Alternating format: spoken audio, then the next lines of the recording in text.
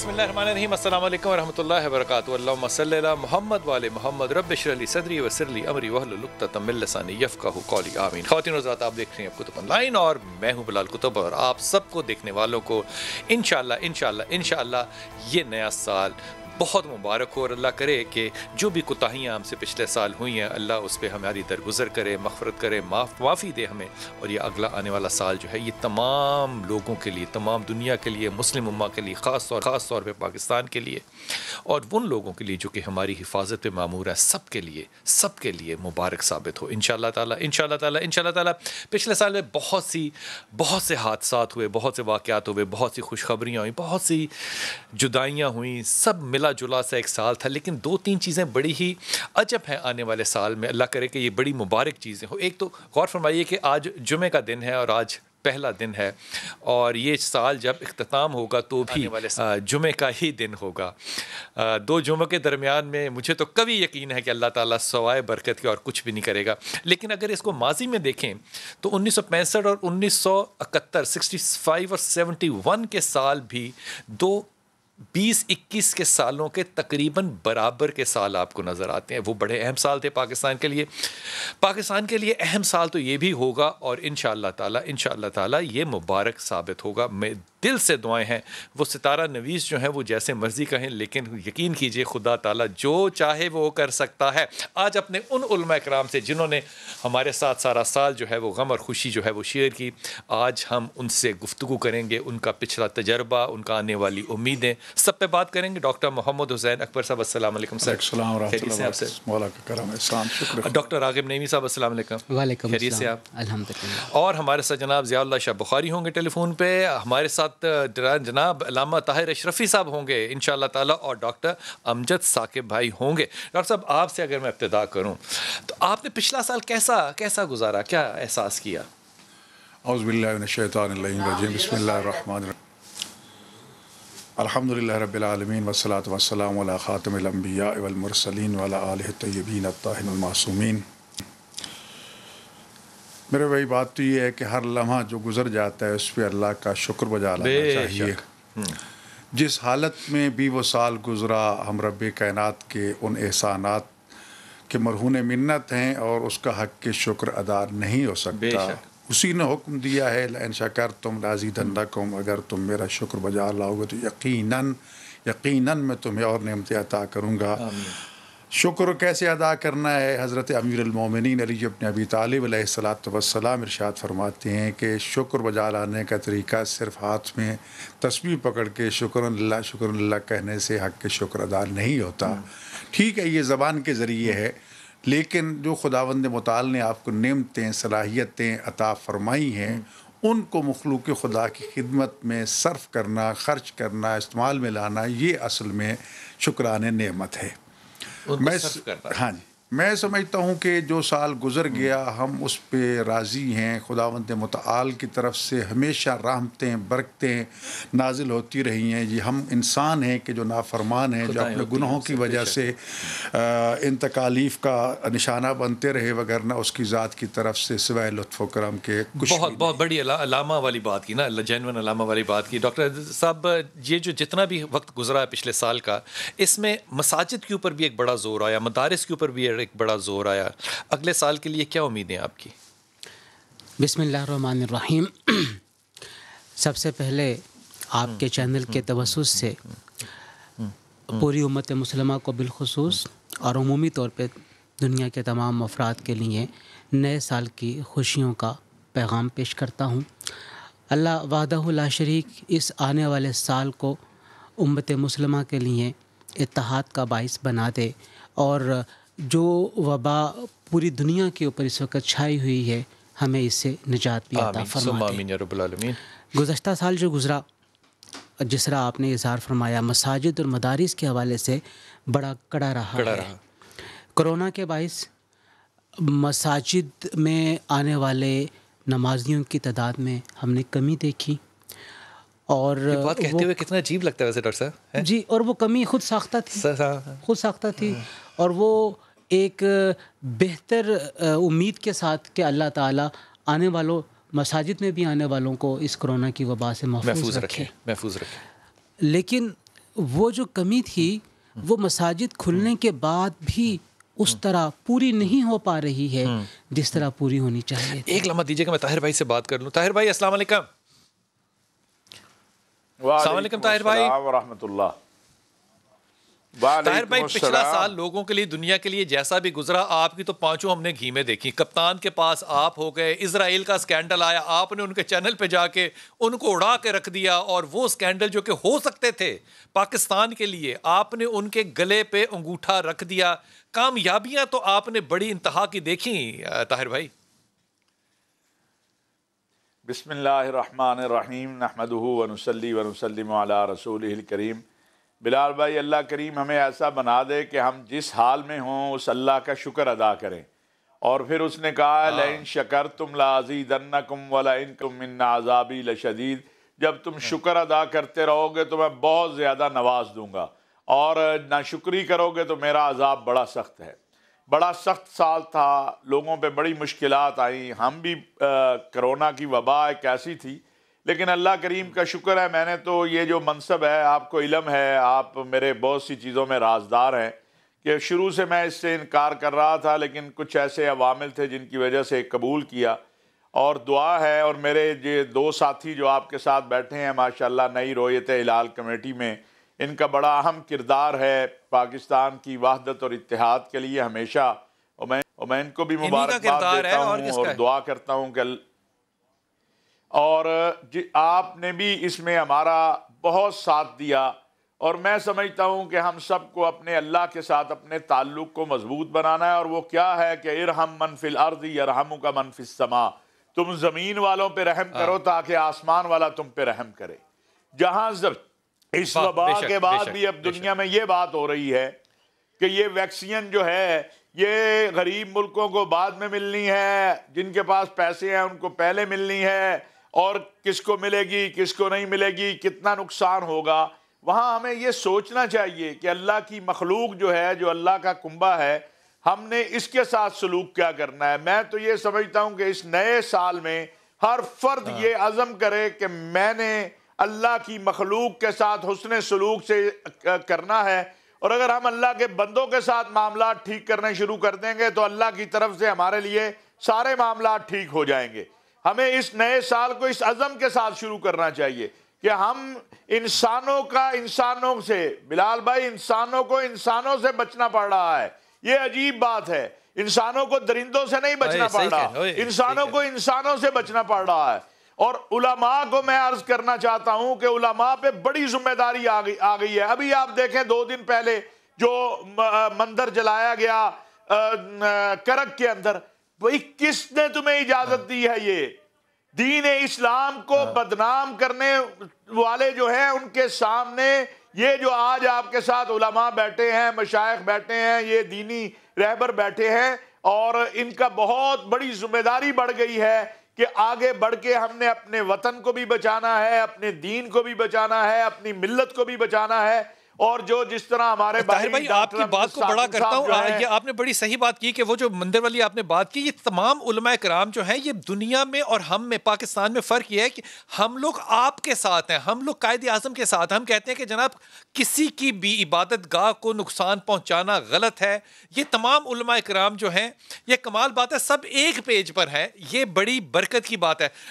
Doctor امجد آپ نے پچھلا سال لوگوں کے لیے بڑی آسانیاں پیدا کی میرا نہیں خیال کہ کوئی بھی لفظ جو ہیں، ڈاکٹر امجد ثاقب وہ اس کے لیے کافی ہو سکتے ہیں یا قابل احترام ہو سکتے ہیں جتنا کچھ آپ نے کیا۔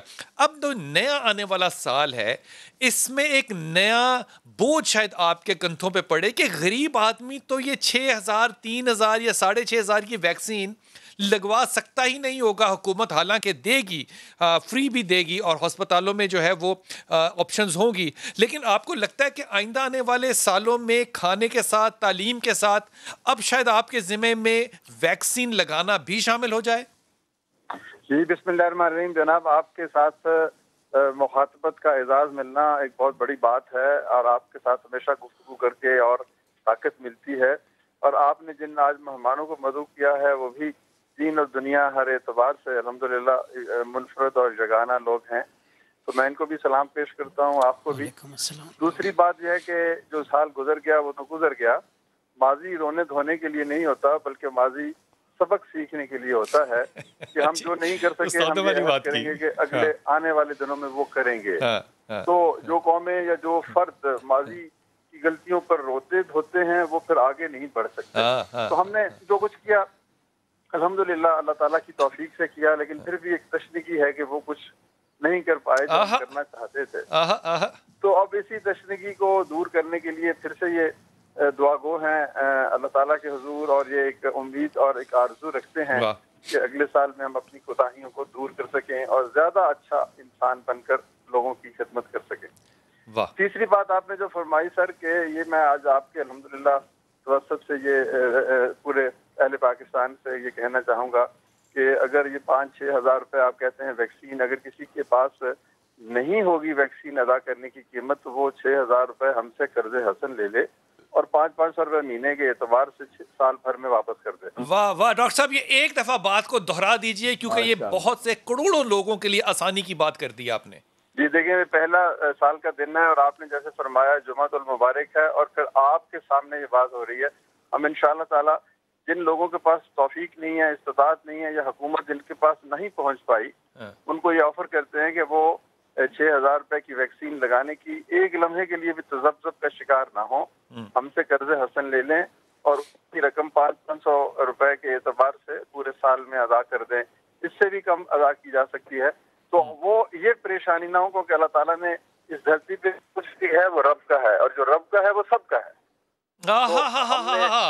واہ واہ واہ سلامت رہیے۔ واہ واہ واہ واہ یہ پیشکش ہے جی ہماری اور اللہ تعالیٰ کے فضل و کرم سے۔ آپ دعا کریں اللہ تعالیٰ اپنے خزانوں سے ہمارے ادارے کو قوت کو اور دوست دے گا اور ان شاء اللہ تعالیٰ یہ کبھی بھی ختم نہ ہونے والا سلسلہ ہے کیونکہ یہ مواقع مدینہ کی روایت کا آپ کو تو علم ہے آپ سے زیادہ کون۔ محبت کرتا ہے اس روایت سے؟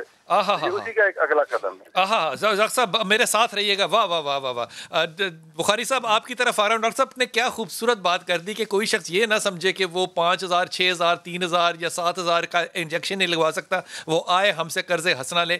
میں آپ کو ایمانداری سے کہہ رہا ہوں دنیا میں جا کے گھومے پھریں۔ جو لوگ دیکھ رہے ہیں وہ دنیا جہان میں بیٹھی ہیں۔ ایک ملک ایک ملک ایسا نہیں ہے جہاں پہ اس وقت تک ایز آف ٹل ٹوڈے یہ اعلان ہوا ہو کہ ویکسین غریب ملکوں میں آنی بعد میں ہے، یہ ڈسکرپشن ہے، یہ امیر لوگوں کا کام ہے۔ لیکن کسی نے ذاتی طور پہ ایک شخص نے کہا ہو کہ کوئی فکر نہ کرے، غریب ہو یا امیر ہو، ہم دیں گے قرض حسنہ، آئے اور وہ لگوائے۔ یہ ہو یا نہ ہو، میں تو اس میں بھی نہیں جاتا۔ یہ جو کمٹمنٹ ہے، یہ جو حوصلہ ہے یہ خدا کی قسم میں آپ کو آج پہلے دن یہ جمعے کو یقین دلا رہا ہوں، یہ مدینے کی ریاست بن کے رہے گا۔ یہ ہماری زندگیوں میں نہ نہ بنا، تو میں بڑی حیرت میں مروں گا۔ بخاری صاحب، زندگی میں کبھی یہ سوچا نہیں تھا، میں نے نہیں کم از کم سوچا تھا کہ مدینے میں روزے کے دروازے بند ہوں گے۔ میں نے کبھی نہیں سوچا تھا، نہ میں سوچ سکتا ہوں کہ خانہ کعبہ جو ہے، یہ خالی ہوگا۔ میں نہیں سوچ سکتا تھا۔ میں جب سوچ رہا تھا کہ سب سے بڑا حادثہ دو ہزار بیس کا کیا ہے، تو میرا ذاتی حادثہ یہی ہے کہ میں نے خانہ کعبہ کو، مدینہ منورہ کو تنہا دیکھا۔ اب شاہ صاحب۔ بسم اللہ الرحمن الرحیم۔ یقیناً میں سمجھتا ہوں کہ سب سے پہلی بات کہ ہمارا جو پچھلا سال گزرا ہے، نبی کریم صلی اللہ علیہ وآلہ وسلم ریاست مدینہ کی آپ بات کر رہے ہیں۔ آپ نے ریاست مدینہ سے پہلے جو صبر و استقامت کا مظاہرہ کیا اور آپ پر غم کے پہاڑ ٹوٹے تو آپ نے اس سال کا نام عام الحضر رکھا تھا جس میں چچا جان جناب سردار ابو طالب اور سیدہ خدیج القبرا سلام اللہ علیہ ان جیسی آپ نے ہستیوں کی شفقت جو تھی اور محبت تھی جب وہ اللہ تعالیٰ کے پاس واپس چلی جاتی ہے تو آپ نے اس سال کا تو یقین یہ دو ہزار بیس کا سال ہمارے لیے یہ عام الحزن کی حیثیت رکھتا ہے کہ بہت ساری شخصیات اور ان میں سب سے بڑا غم ابھی جس کا آپ نے اظہار کیا ہے کہ ہر محل شریفین کے دروازے نبی بند ہو۔ پاک وسلم کی مسجد مسجد نبی کے دروازے بیت اللہ شریف کے دروازے جو ہمارے اوپر یوں محسوس ہو رہا ہے کہ بند ہوئے ہیں تو یقیناً یہ ہمارا بحثیت ایک مسلمان بہت بڑا غم ہے لیکن میں یہ سمجھتا ہوں اللہ تعالیٰ نے ہمیں ہر غم سے اور ہر مصیبت سے جو نکلنے کے راستے اس وقت نبی میں عطا کیے ہیں۔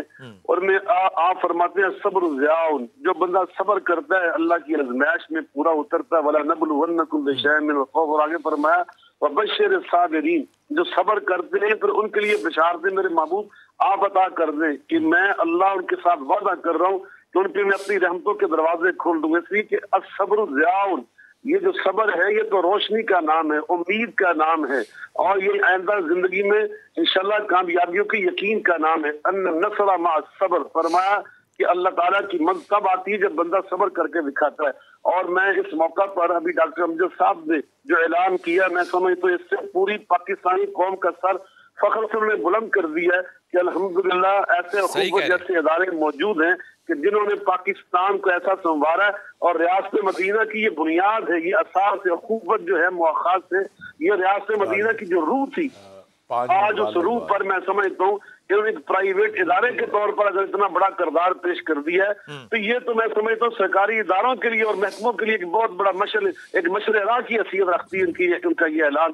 تو میں ان کے اس اعلان کا خیر مقدم بھی کرتا ہوں ان کی تحسین بھی کرتا ہوں ان کے لیے دعا دو کہ اللہ تعالیٰ اس حکومت ادارے کو کیا مطلب آباد رکھے اور اس طرح یہ کام اپنا کرتا رہے۔ اور اس کے ساتھ ساتھ میں یہ کرتا ہوں آئندہ کے لیے ہمیں اللہ سے معافی بھی مانگنی چاہیے دعائیں بھی کرنی چاہیے اور کثرت سے دروشی بھی پڑھنا چاہیے۔ نبی پاک صلی اللہ علیہ وسلم کا یہ وعدہ ہے ہم کا ویغفر لك ذنبو کا کہ انسان جب دروشی پڑھتا ہے تو اللہ اس کے سارے غم دور کر دیتا ہے، ساری مصیبتیں ختم کر دیتا ہے، اور اس کے ساتھ ساتھ خدمت خلق جو ہے، جس کے بھی بات علامہ طاہر شریفہ فرما رہے تھے، کہ جب ہم اللہ کی مخلوق پہ تز کھانا شروع کر دیں گے، کرو مہربانی تو اہل زمین پر خدا میں روا ہوگا عرش بری پر۔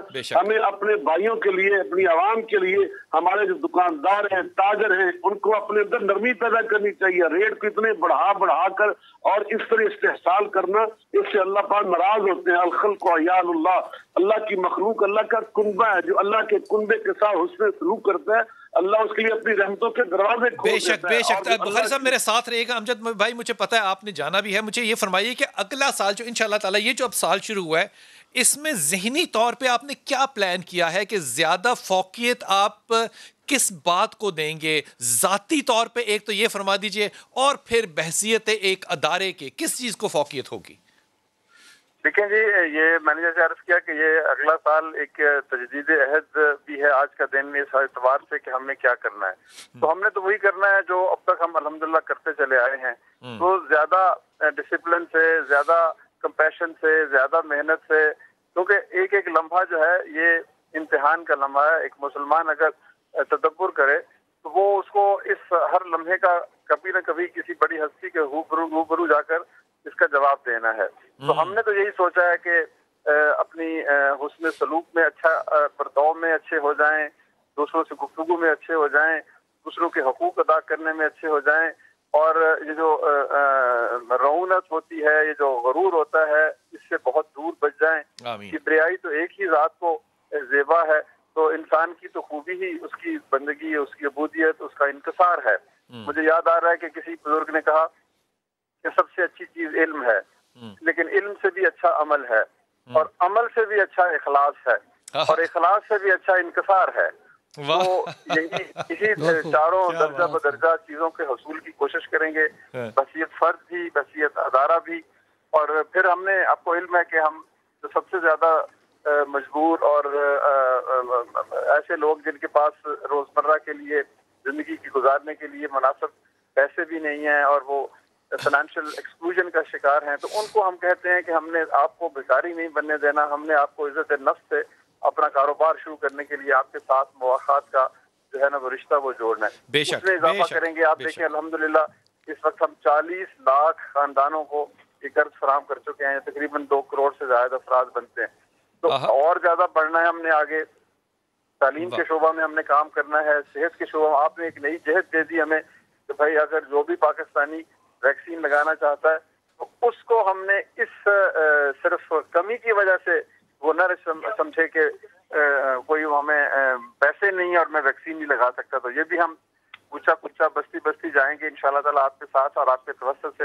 تو یہ دو تین چیزیں میں نے عرض کی ہیں کہ ہم انکسار کے ساتھ اور حسن سلوک کے ساتھ اور حسن تدبیر کے ساتھ آگے۔ انشاءاللہ انشاءاللہ. ڈاکٹر امجد بہت شکریہ آپ کا مجھے اندازہ ہے آپ مصروف ہے امجد ثاقب آپ کی سب سے بڑی کنٹریبیوشن یہ ہے کہ آپ نے لوگوں کو ہاتھ پھیلانے سے پہلے پچھلے سال جو ہے ان تک رزق ان کا جو ہے وہ پہنچا دیا۔ طاہر بھائی آپ سے ایک ذاتی جملہ کہہ رہا ہوں آپ سے ذاتی بات جاننا چاہ رہا ہوں۔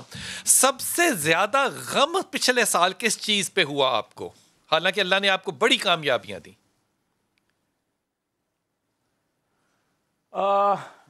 بلال بھائی، سچی بات ہے کہ جب یہ کیفیت دیکھتے ہیں نا ہم یہ جو کرونا سے لوگوں کی معاشی طور کے اوپر جو بحران آئے اور اس میں بہت سے واقعات ہیں، کوئی ایک نہیں ہے، تو وہ ایک غمناک کیفیت جو ہے بہرحال وہ پیدا ہوئی۔ اور پھر آپ یہ دیکھیں کہ ملک کے اور دنیا کے بہت اہم علماء جو ہیں وہ گزشتہ سال علمی اعتبار سے جو مضبوط تھے جن کے نام تھے وہ گزشتہ سال چلے گئے۔